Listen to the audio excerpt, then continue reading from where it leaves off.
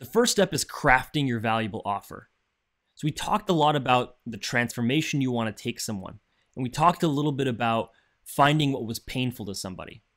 Each of those different pain points matches up to a part of your offer.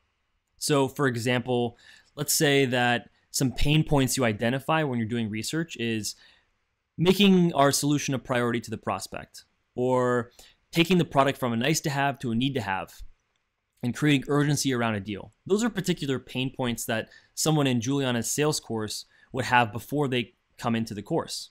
So, what Juliana did in her course and in her offer is she developed a 45 minute video with examples of pain finding questions. She also developed a worksheet. This particular offer was built exactly for this type of pain when you're launching to your audience, you're going to think a lot about what are those particular pain points and what is the exact offer that I'm doing to address those particular pain points. There's a lot of different ways that you can craft an offer and you can improve the offer in your course. So you can look at our course for inspiration, but there's other techniques you can use too. So, for example, in our course right now, we have a private Slack community. Slack is a great way to get feedback from students and really refine the content that you have. You'll also notice in this course we have worksheets and templates. And there's even a template and a worksheet inside of this session that we're doing together, which you'll eventually see.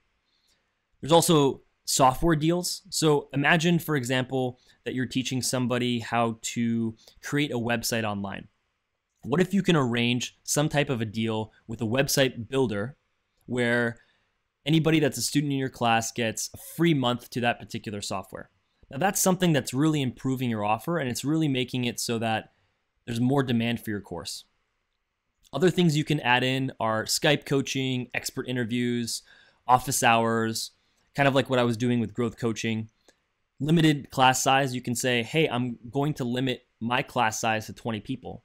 You can also even layer in like an hour of consulting or, or things like reasonable email support all these offers are all these kind of types of offers are things you can add to your course to improve the value to the point where you know that you can get people to sign up and actually pay for your course.